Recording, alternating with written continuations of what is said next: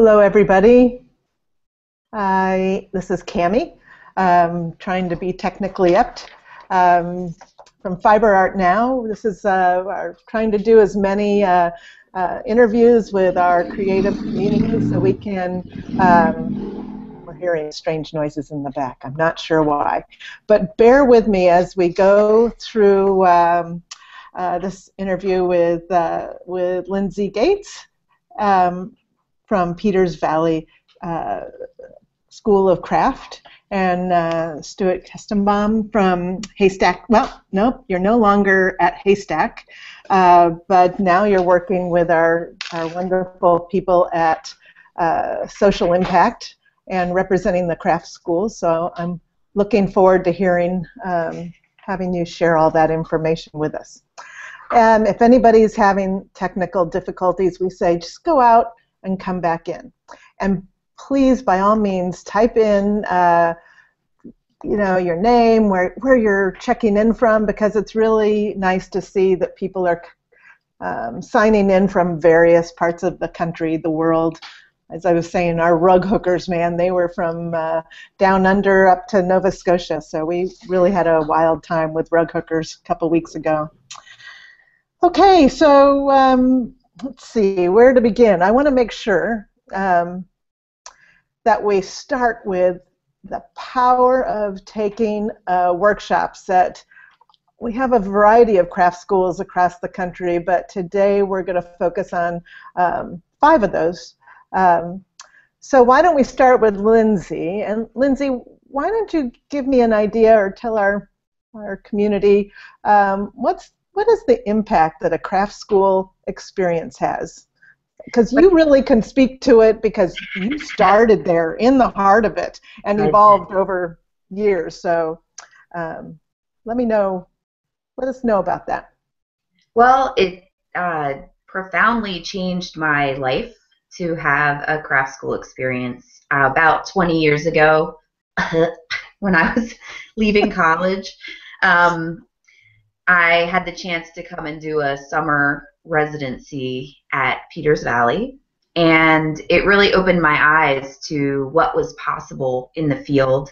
Um, here we have, you know, new instructors coming in every week, and they're all professionals in their field who have found a way to make a living, make a career in the arts. And as a, a young artist, I was the beneficiary of being able to meet them and work with them for the week or two that they were here and really absorb all of that knowledge. And I took that and was able to kind of craft my own career um, with the advice and the guidance and you know all of those contacts that I was able to make. Um, so it was really it it changed the entire uh, direction of or it really guided me um, in a direction that I was already interested in, and eventually um, became such a profound uh, experience as far as learning about these schools and going to Penland and going to Haystack and, and going to all these places that I eventually went back and actually studied art administration to help um, to help further these these educational opportunities. Oh, that's that's interesting. Um, I know uh, if you go to the Fiber Art Now uh, website, we have a, a lovely blog um, about your journey, and um, and and now you're working in what capacity? So now the, i work as the development director here. Um, we have a real interest in connecting artists to opportunities and keep, keeping people connected to the school um, and promoting special events and special opportunities, um, as well as raising money, which is part of the development. Right, that's a full-time full-time job. Um, well, let's just, let's click in Stuart here. Can you hear me? We've had I a little can. audio difficulties here, so uh, bear with us. But Stuart, why don't you? Uh, you've also had a very extensive, long, and, and splendid journey with uh, Haystack and the craft, the compassion to keep the craft uh, endeavor alive. Why don't you Yeah. give me yeah, a little bit about that? And uh, you know, I can't. I could only read Lindsay's lips. So I, if I repeat anything, just make a gesture. Like if I start to tell her story instead of mine, or. But uh, you know, I first uh, first I came to Haystack. I was a student at in the ceramics workshop, and I'd been an apprentice to a potter. Uh, and when I was finishing my apprenticeship, he said, "You know, you should go to a place like Haystack or Penland." And I was living in Maine at the time, so I went to Haystack, and I was there for a three-week workshop and because the workshops at that time were three weeks long, and uh, I had the most remarkable time because I was in a community of makers. I was in a place where everybody supported uh, working on your art, and you didn't have to think about anything else except for that. Mm. And uh, it's a very transformational kind of power because I think people go because, in my case, it was time for me to go, and I went. Uh, and people go at different times for different reasons, but I think there's a moment where you know it seems like that's the thing you want to study, the thing you want to try, uh, and I think it gives you a kind of gift of time that you can work for as long as you want, and you're supported in what you work in. The communities at the schools are not hierarchical, uh, so you're equal with everybody who's there, and you could be having a meal with the teacher. You could be talking to people who are from very backgrounds from different countries, and you just get a sense of where you are in this world of makers. And I think that's really the uh, enormous uh, power to the places. So, what, what kind of uh, people do you find? I'll start with Stu. uh, what kind of people do you find uh, are the regulars or new people? Can you give us a, a vision of, of what kind of people? I'm going to start clicking around on these pictures that Victoria is showing so we can share them. Yeah, well, you know, uh, last year at, at Haystack, and I think this would be pretty typical for all the schools, we had students from uh, 45 states and 19 countries. Wow. Our, our youngest student in the summer, because of our liability issues, that you have to be 18. So in, in case of Haystack, you have to be 18. Our oldest student was 92. We had people from high school students who just graduated who wanted to try to work uh, more in depth with their craft. We have people who are in graduate school, undergraduates. We have professionals who come back perhaps to take a workshop in another medium. Mm. So we've had furniture makers take basketry courses, for example. People, uh, and we've had people um, really from all around the all around the country and all different ages and from abroad as well. And I think uh, it always makes for a, a kind of unlikely mix that always always makes sense that people find a way to communicate. And because it's not one, uh, it's not saying graduate school where people might all be the same, close to the same age or have the same experiences.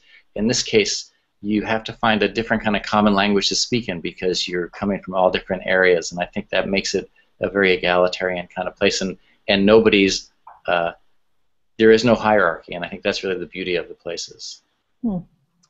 I hadn't thought of that. Um, Lindsay, do you want to give us a, a bandwidth of what you've seen? Yeah, we have a similar demographic, and I think that a real strength of the schools is the diversity. Um, and that's not something that we are casual about. We really encourage that diversity um, through a s- robust scholarship program, which I know we're not the only ones that do that. Um, but we really find that that age diversity and uh, background diversity adds so much flavor to this unique way of learning um, that it's often what people mention in the surveys that you know it was so wonderful to have such a diverse uh, Mhm. class that they were studying with and uh, we really you know try to celebrate that Yeah, that's that. Uh, that is good. I know you uh, were both uh, talking about how you have community events that happen throughout the year. Um, you have, uh, you know, the summer summer programs, but it just it doesn't stop there. You really try to engage people uh, all year round in and around the community. It sounds like. I will say that the the one common um, theme or back something that everybody shares who comes to these schools is that they're all lifelong learners. So Hmm. they may not have the same skill set, they may not have the same background, they may not be even from the same country, but they're all interested in being in learning new things, whatever that may be. And so they already have a common language, um, which really starts a really great conversation. Yeah, that common language. I don't know, Stu. Do you want to? Are you able to hear about? I couldn't. I, I couldn't hear that, but uh, you give me a starting place. I'll go. The common language that uh, when they when the students are there, they have that common language between them, no matter uh, where they're coming from, their background. Yes. Yeah. In fact, uh, you know, we have a program for high school kids that we've been doing for many, many years at Haystack called the Student Craft Institute. Kids come from all over the state of Maine, which is a very, uh, it's it's a pretty big state for a state in the east. And and one kid comes from each high school, and about 70 different high schools all around the state, picked by their art teachers, and they may think they're the only person in the world who's like them, and they get to Haystack, and they see that there's a world that's for them. They see that that a whole, there's a whole place that's given over where creativity is at, at the heart of it, and and it's a catalyst. Some of these kids have told me that they, because of that, they decided they were going to go to art school. They decided to mm-hmm. become an artist. They realized that they were possible. And it's mm. not. And I realize it's not just with kids that that happens, but when people get to a place, to, to one of the craft schools, they get there, and they, and I think they think, well, you know, I got this day job maybe, but this is really who I was meant to be. This is where I'm really working. These are the these are my people who are here. And you know, you, you find your people everywhere, and not just in our programs. But I think there's a certain moment where where you uh, you realize that there's a you know everybody's in it for that reason. They really want to get at the heart of understanding materials and making things, and and that that kind of community uh, lifts everybody. It lifts the teachers, it lifts the students. So, you know, for people who teach, uh, like Lindsay may have said this already, she's going to be teaching Haystack this summer. Uh, you know, people who who teach in the programs, I think it was buoyed, lifted up by that experience of being around people who really care about what they're doing. Nobody has to come to any place, so nobody's rolling their eyes saying, "Oh, I got to take this class." They're there because they want to be. I'm and rolling that, my eyes because I can't. And that makes an enormous difference in terms of people. Uh, you know, it's a, a, very pure kind of learning. Yeah, that's that's a good point. Um, on that vein, I, I want to talk, um, and maybe since you're on there, Stu, can you talk a little bit about the historical impact that craft schools have had, you know, for a very long time? Sure. Well, you know, the uh, really going back uh, Penland started uh, is the, the oldest, or Arrowmont, I, probably of the schools, but but after World War II, I think there's a burgeoning interest in in craft and lots of different ways of looking at materials. Lots of people who were who went to uh, art school on the GI Bill. So a lot of people uh, out working at the time, and you know, I think about the people who came through uh, programs like uh, at our at our schools really uh, either as teachers or as students. Just thinking at Haystack, there was Anni Albers, Lenore Tawney, Jack Larsen, Arline Fisch, uh, who you may know as for her uh, amazing techniques in woven metals, took a weaving class when she was a had just gotten out of. Uh, she had just been teaching, and she needed to teach weaving, so she took a weaving course at Haystack with Jack Larsen, and as a result, began to work in textile techniques in, in metal. Wow. So lot, there's lots of crossover, and I think mm-hmm. uh, you know Dale Chihuly uh, uh, taught at Haystack. Did he? He was teaching at RISD, and, and Fran Merritt, who was Haystack's founding director, invited him to teach at Haystack. He taught for four years consecutively, and he was so impressed with Fran and what he'd done at Haystack that he started Pilchuck. So, ah. and and Haystack was started because uh, uh, Mary Beasom Bishop, who was our founding angel, had been to uh, Hayst- to Penland as a student. Oh, and wow. So there's a lot of cross fertilization. And then Bill Brown, who was Fran Merritt's director, uh, assistant director at, at Haystack uh, for the first 10 years that Haystack was in existence, went to Penland and uh, became the director there. And he started the amazing residency program that, that Penland has. So there's lots of cross fertilization between all the programs. Uh, mm. And I think uh, you know, as much as it is a catalyst for students who come, it is for teachers in terms of different techniques or things they'll try because there's a it's a place where you can take a risk where you can say oh i'm just here i'm going to try this out. And i think that takes people to different places. That's true. Well um, lindsay i want to uh, point out a comment we have from some from Kim Kimberly Becker on the side uh, over here, and she she says when when I would be leaving Haystack after a week or two, I would say, uh, "Back to the real world," and Stuart would reply back, "This is the real world." so she sounds like that was those were good words, and uh, she's only. um, Lindsay, do you uh, have any um, more to add about the historical impact craft uh, schools have made? Um, oh, I just second everything that Stu said, and I think right now um, we're also filling a void in schools as different departments are um, going out of business, uh, whether it's in a grade school or in a college. Um, we're filling that gap now and offering opportunities that maybe are harder to come by these days. You were mentioning uh, when we were talking earlier about, um, or both of you were, about the resurgence of uh, weaving. Mm-hmm. Uh, and you mentioned that uh, you were the beneficiaries. I don't know if you want to talk about that a little bit.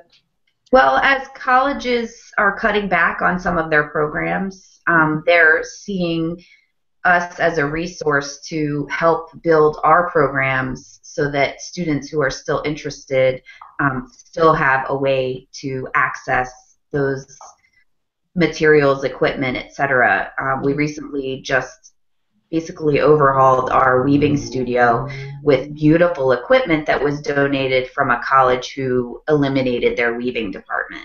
Um, and we just have people that are thirsty for that.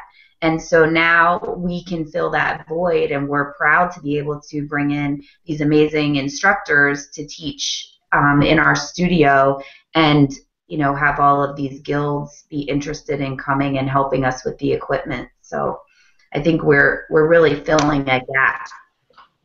Yeah, that's a good point. Um, that's pretty exciting. I'm glad that there is a place for the the void to be filled. Um, I wanted to talk a little bit about the the group of you um, through social impact. Maybe I'm going to pop over to uh, um, Stuart on this one. Um, I know social impact uh, and the five craft schools have a consortium of sorts. Do you want to talk about um, that happening? Sure. Well, we uh, uh the the craft schools were in the, the project uh, began meeting uh, at, we had a meeting at the Southwest College of Art and Craft in San Antonio oh, probably four years ago, and it was a, it was a meeting of a number of, of programs, and and uh, and we all went around. We talked about our programs, what we did, but uh, you know, there's a certain affinity for our programs because we have very similar ways that we work. We're uh, intensive residential programs, and and we began just to talk and about the idea we might be able to do some marketing together. Uh, and that, that spawned a number of conversations and, and ways that we might do it. And, and, and it quickly, I think, went beyond the idea of advertising. Uh, and we weren't after a market that already knew about us. We were just realized that, that there were so many people, so many kinds of people, creative people who could benefit from our programs that we wanted to find a way that we could reach them. And uh, and so we, we had a number of planning meetings, and, uh, and eventually Ennis Carter from Social Impact Studios joined us, and she has worked on a number of, of kind of grassroots campaigns, of really getting information out to people, and we realized that was the right voice for us, really the way that we wanted to go, and we talked about uh, slogans that could could stand for what we, we meant, and one that we that we uh, came up with was this idea of make time, which suggests uh, both making time to make things, that it's time to make things, uh, and it seemed to get at the heart of, of what we do. And so now we're in the first phase. We launched the campaign in the fall, and we really want to get the word out to, to places and people who may think, oh, I think I've heard of a place like that, to people who could say, I could go to a place like that. And because our places are both like high quality and egalitarian at the same time, you know, we feel that there's an audience of, of people who are interested in the handmade, in slow time, in making, thinking about making, and creativity. And and uh, if you think of the people who know about us as being one kind of bandwidth, I guess, uh, is the idea would be to just widen that bandwidth and get to those communities who wouldn't always think of us, but if they got to these places, would be amazed. And I, I, that's really, I think, at the heart of what we've been trying to do. Yeah, and the, the other thing is that we've really gotten to to know each other, so that that uh, we knew each other before, but the more you meet, the easier it is just to pick up the phone and have a conversation with somebody. So that instead of it being once a year where you'd say, "Oh yeah, I have a program, you have a program," it was more. It's just the interaction is much easier now, which just means the the more you communicate, the better you get along. And and what's been remarkable is that you know we're five. I guess you could see us as competitors, but it, it's actually a remarkable degree of collegiality, and we don't see it as competition. It's really, really that we we're all in different parts of the country, and we offer remarkable experiences, and we just think, you know, we just want to get the word out to people about it. Um, someone on our chat room there was asking about the the financial aid, the scholarships um, that might be on, um, on a broader scale instead of a maybe a statewide scale. I don't know which schools have which um, scholarship opportunities, but is I don't know. Do you want to talk about that, uh, Lindsay? You look like you're ready to. Sure. Um, we don't have any restriction on where you're from for our scholarships as far as like what country you live in. Um, we do have some that are specifically for college students or specifically for a weaving class. Um, it just depends on the specific scholarship, but I think that every single school has a robust um, financial aid uh, package as far as scholarships or whatever they may call it um, that might be different from what we call it. Uh, but we're all very committed to making it affordable to people so that anybody who wants to have a craft school experience has a good shot at making that happen. Um, mm-hmm. so I would encourage anybody who's interested to just look on all the different schools' websites. Um, they can start by going through the portal that we've set up, the craftschools.us. Um, once they get there, they can go to any of the, the five schools and they can look at all of the different scholarships and financial aid that's available. Good. That's that. That's really important, and it's nice to have a, a one portal. Um, here we go. We got Victoria's got that posted there for me. There you go. You can see that. Um, I don't know if you have any comments, Stu, on that on that top topic. If you were able to hear about I, I couldn't hear, but I, I was trying to read lips, and I thought she was saying free. Free. so anyhow, I think all the, I know, you know, Haystack has a very generous scholarship program, and I think all the all the programs have have financial aid programs, and uh, there's really, uh, I think if you have the need and you have a compelling reason to be at, a, at one of the programs, you could get get to that. Um, and the, you know, a number of the programs also have residencies. Haystack just started a residency last year that's that's a, a two-week free program, and Penland has a has a long-term residency program. Uh, so and and Arrowmont does as well. But but I think you know the goal really for all the programs is to provide accessibility. We all provide support for scholarships and and recognize that that it's really important to provide access and, and don't, I hope as our, because this will be posted, this um, webinar will be posted on the Fiber Art Now website for years to come. Um, but yes, there are the need for uh, financial aid, but maybe you're somebody who has capacity and might want to include um, a donation or um, you know support for all or just you know one of the local schools. Um, please if you know someone who might be willing to do that think about that. I used to do scholarships uh, you know, I used to raise funds for a scholarships for a community college in the Seattle area, and um, we you know we would have a wonderful donor and they'd say okay i i really want to make sure when when i go i leave some money for people who love to plant pink flowers. And it would be this really you know narrow window. But we'd be so excited because there would be a student coming along the ranks that would be interested in pink horticulture. I don't know something. so if anybody knows, I'm always like I always think it's important to make sure. Um, uh, if there's if you're passionate about uh, a craft and you have the capacity, here's a great opportunity to uh, to give back. And actually, I'm sure with the with the consortium you have all built, there's another um, you know a wider um, umbrella way to support that that your schools and that what they're doing, the importance they play in our um, across our country. That's my pitch. I'm a, I'm a development person on the in my past life.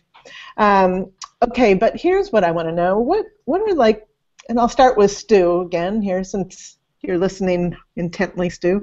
Um, what are what are some of the real challenges that craft schools have? What, you know, what what makes it difficult to you know maintain? Is it budgetary? Is it you know the facilities keeping them up? Is it um, attracting people? What do you find that the challenges would be? Well, I, I think you know all the all the programs have facilities that need regular maintenance, so that's always and you want to keep up with the demands of the of the field too. So if you need to get different kinds of equipment, you need to have that. So you always have to to keep things upgraded. Uh, I think you know, none of the programs is about the equipment itself. It's really about the idea of working, but you need to have equipment that's adequate to, to what you need to do. So, you know, that's always always a challenge. Providing access with, as you mentioned so eloquently, with financial aid, is you want to make sure that you have the resources so that you can provide opportunities for people. So that means pretty regular fundraising. If you want to do programs, uh, Haystack has programs for high school kids. We always have to raise money for that. So those are the kinds of things that you have to make sure that you can you can uh, not just survive but really thrive as an institution as you need to raise money and so that's you know a challenge and and the other thing I think is just in terms of programming is you want to have the most dynamic programming so you you want to make sure you're you're addressing the current needs of the field you want to make sure you're honoring the past at the same time you, you're looking toward the future too so I think those are all things that used to keep me up at night uh, but but not I've anymore. only been I've only stepped down for two weeks, so they're not. They still keep me up occasionally, but those are, I think the kind of you know those are the kind of the overall challenge of of uh, of the field, and also I think letting people know outside the smaller craft world how important craft is. I think is a ch- is a challenge and a and an obligation of the the hmm. programs uh, to really to let people know what remarkable uh, learning, research, and creativity is is at, at all the schools. Yeah, those are those are good good words, and I'm going to throw it in your court here, Lindsay. Uh, he said that so wonderfully. I, I guess I would just add to that that um, when we're trying to reach outside of our small circle of people who are already comfortable with the crafts, um, it's a challenge to break down that intimidation factor.